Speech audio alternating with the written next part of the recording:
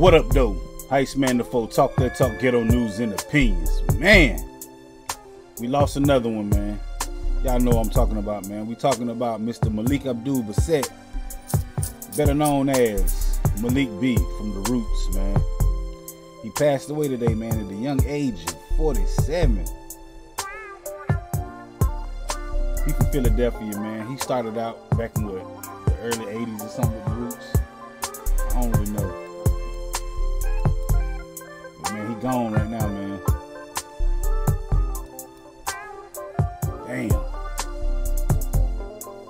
Malik B. Y'all gotta go out, man. Send his people some love, man.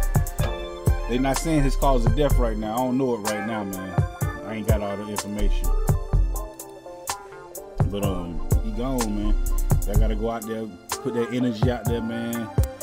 Have a roots day. And fucking go out and do some shit, man.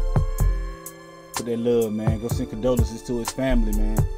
His kids and all that shit, man. To the roots. Huh? Yeah, celebrate the musical legend, man. He a whole legend out here, man. He a founding father of the roots.